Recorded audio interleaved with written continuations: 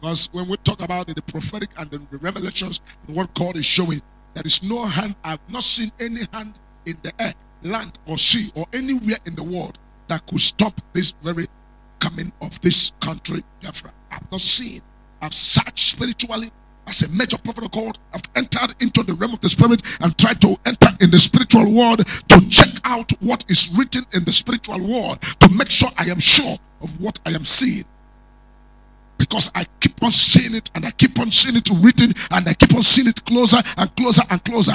And I try everything to make sure I don't just speak. I search through the spirit, I examine the spiritual, and I try to open it up to shake it and shake it. I've shaked it often and often, and it is written clear. Nothing stops the Biafra from coming to exist because the people have worshipped evil in this country. This country, people have worshipped devil. The moment you share the blood of your brother, the moment you close your eyes to the cry of the innocent, you close your ear to the cry of the innocent, you close your eyes from the pains of the, the needy, the pains of the people that are given to you to take care of. The moment you close your eyes and you don't pay attention to them, means that automatically you have bereaved. You have you have you have angered the creator of heaven and the earth. The moment the creator of heaven and earth is angry, forget it. That's what the Bible said. Don't be afraid of those that will destroy the body and not the spirit. When you make God angry, God is the one that has the power to destroy the body and destroy the spirit also. And so I am trying to make sure that I look in the realm of the spirit and search out what is already in the realm of the spirit, and it is absolutely clear. Absolutely clear. And this is what God told me. I should also tell the people that all these things that is happening is for learning.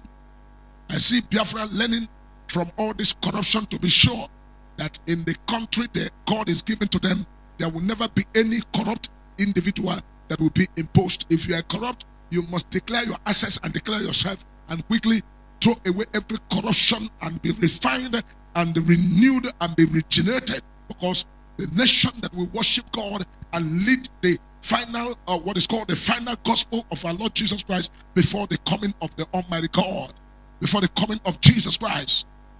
Because God wants a place where He will be honored. God wants a country where He will be honored, where people will have respect for fellow human beings, where the respect and dignity of mankind will be given to man. God wants a place where the people can sit and say, Yes, truly, we have the opportunity, the privilege to serve God. This is what God is searching out for. God is searching out for this. And God is watching for the people that will serve Him in spirit and in truth. And in the realm of the spirit, as my eyes open and I begin to look, God say, this, this very coming country will never have corrupt leaders. The thing that has eaten Nigeria up and destroyed Nigeria is corruption. And what is corruption? The corruption is what is called nepotism. Nepotism is what is called sightedness. Sightedness is what is called tribalism. And when there's tribalism, nepotism, corruption, and all these things, no country survives all this. My prayer is that the will of God will be done, and nobody can stop the will of God. The will of God will surely come to be. And uh, the world we are in is a place where you are free to do whatever you want to do. But at the end of it all, there's always a final judgment. Tomorrow will always tell the law of karma, the law of what a man sowing and reaping. You sow, you cannot sow a corn and you go to reap uh, cassava. You cannot sow a cassava and you want to go and reap a corn. It is what you sow is what you are definitely going to reap.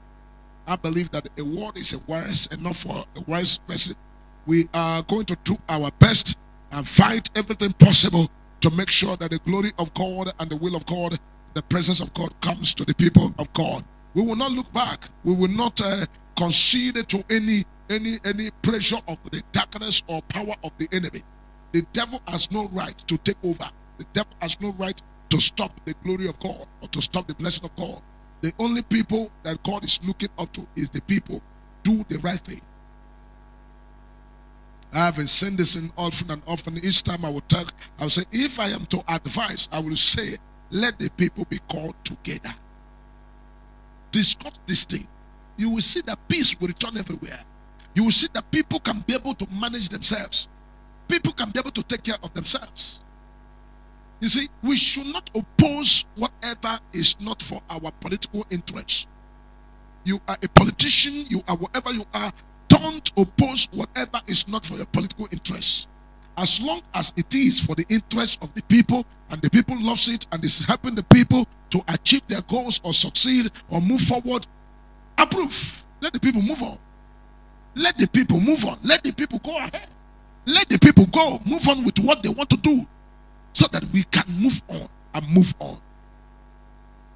May the Lord help us to do the right thing in the name of Jesus.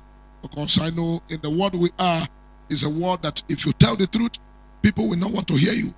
But when you tell them the lies and you paint it ahead, that's what they ring for.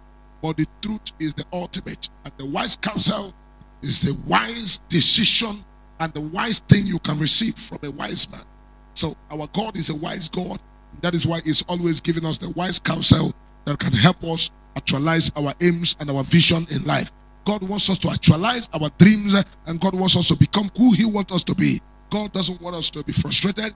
God doesn't want us to be uh, abandoned. God doesn't want us to be people that are, somehow uh, destroyed. God wants the best for us, and that, that best will continue to be our portion in the name of Jesus. Thank you all for listening to me. May the Lord bless you all and favor you all. In the name of God, the Father, Son, and the Holy Spirit. I am still your prophet, Prophet Dr. David Kingleo Elijah, the major prophet of God and the prophet that God is using to speak to us even in this last day, even in this time that everywhere is quiet. People are calm, people cannot talk. God is speaking to us, and our God is vocal, and He will continue to speak and continue to tell me, the prophet, what to say and what to say. And I'm not speaking for myself, I speak for the people.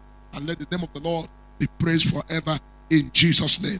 And I also want to say, all of you that are watching, if you have not subscribed to this YouTube channel, please quickly subscribe to my YouTube channel, uh, Possibility Television. You will see about uh, 17,000 uh, subscribers. God will bless you as you support, as you join the, the, the, the uh, you, you subscribe, or you want to follow me on my page, Glorious Mountain of Possibility Church. Do that, and God will surely bless every one of us in the name of Jesus. Whatever is your heart desire, God is capable of giving it to you, and God is capable of meeting you at the point of your need.